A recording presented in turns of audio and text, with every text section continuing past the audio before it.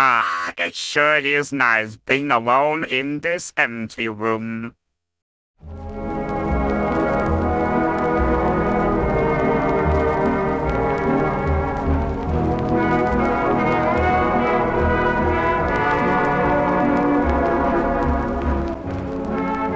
Wait.